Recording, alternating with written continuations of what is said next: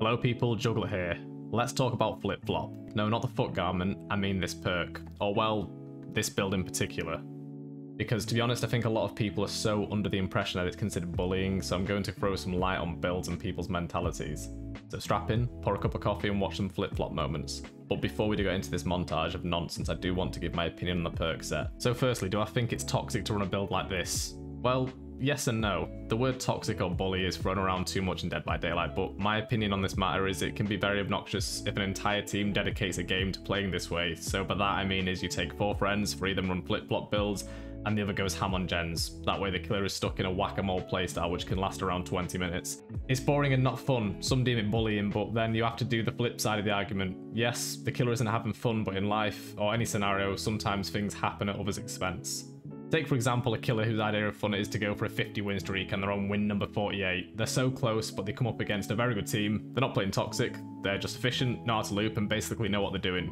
So the killer decides to slug them all or tunnel them out of the game. The killer wins in this situation, keeping his strike, keeping his fun, and at the expense of who? The survivor, who probably didn't have fun.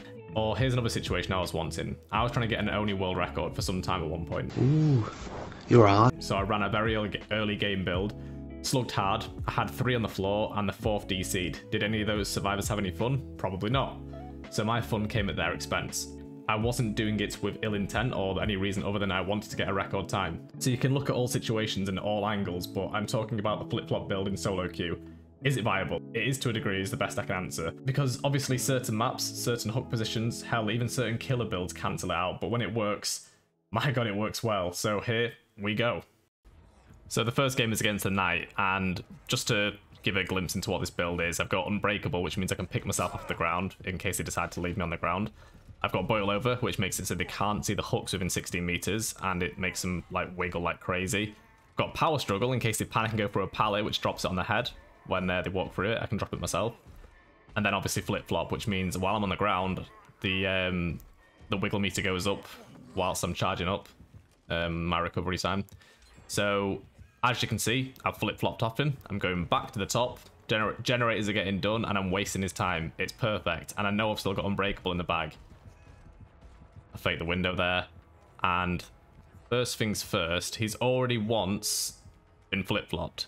So he's going to want to leave me on the ground, which is totally understandable. I get that. I'd want to leave me on the ground and let me bleed out. He's not got a kill yet. He's got two people on death hook, so he's had a pretty good game. But I've wasted his time for the last two gens. And here we go, he's just going to leave me on the ground. But he doesn't know I've got Unbreakable in my pocket.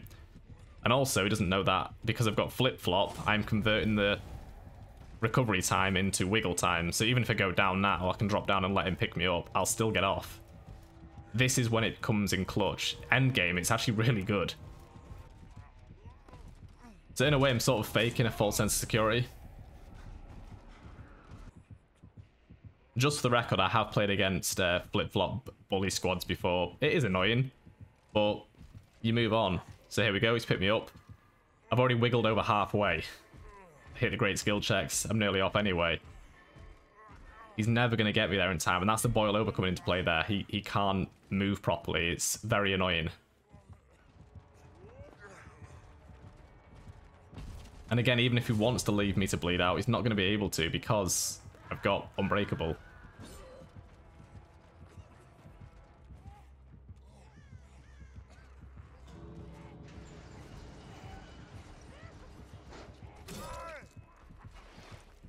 And there we go, I'm out. So that's the first game. So this one's a bit different because the clown had been, I guess in his view, might have been having fun, but to me it was a bit annoying. He was tunneling people out of the game, people were DCing, and he was letting people play down the floor. I did flip-flop off him once, so to him I was annoying. That's the way things are sometimes. But he was never gonna um, pick me up in this situation. He, he knew my build because he could see the way I've been playing. He probably knew he was going to get power struggled. So instead he decided to let me bleed out on the ground. So I did the only thing I could do, which is pretend that I was AFK and let the birds appear above my head. And eventually, I waited for the perfect moment and got myself up. I figured by this point he might have just gotten so bored that he thinks I've um, gone completely AFK and he's gone AFK himself. So I've got up and I've luckily found the hatch in his situation, he could have easily just looked for the hatch beforehand, like having on the ground, so that's his own mistake. But yeah, there's another example. Now, this is a totally different example. This is when I'm playing against a Nemesis, and I think this is when this is when it gets I feel a bit sorry for the killer because I think he might have been a new player. Obviously, MMR's MMR's all over the place, so you, sometimes you get good killers, sometimes you get bad ones. In this one, I think he was just inexperienced, or maybe plays Survivor mainly. But again, we're flip flopping, we're wasting his time. You're best off not getting grabbed out of the locker when you're running this build. You want to like, charge it up a little bit so you get a little tiny bit. This is probably the best map for this, by the way.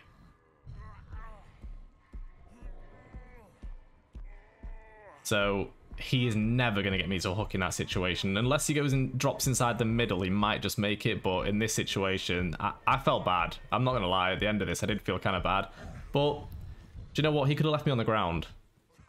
Or uh, in this situation, your best bet if you're playing killer is just leave the person alone because you've got you know they've got no gen increase uh, perks. They've literally got a build dedicated to just being picked up and dropped.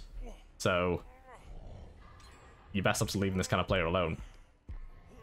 So here, this time he tries a different method and he goes for the other way. He gets a little bit stuck here and there.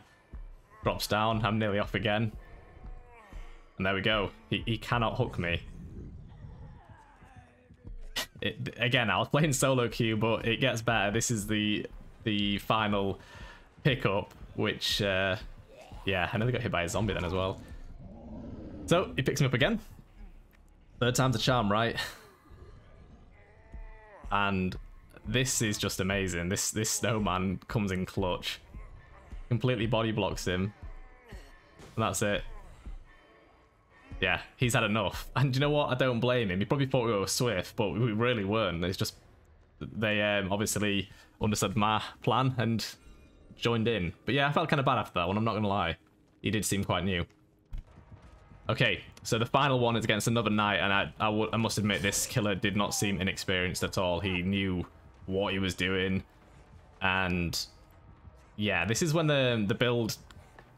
I was lucky and fortunate that I found a spot which he couldn't hook me for, but here we go.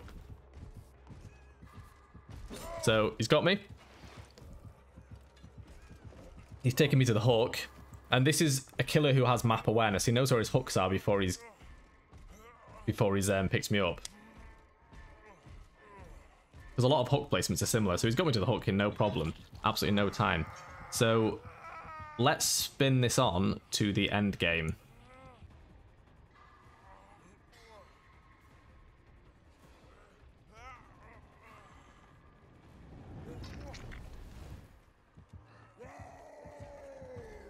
Okay, so we've got one gen left, and I'm just going to say this. I've got no problem admitting the truth in how the game went. He was basically face camping most of the people and proxying because I, I think he was just frustrated at my build. I hadn't even flip-flopped off him, but I don't know. So this is where my experience comes into it because I found a different place and I know he can't hold me from this spot. And I think he gets to the point where he knows it as well.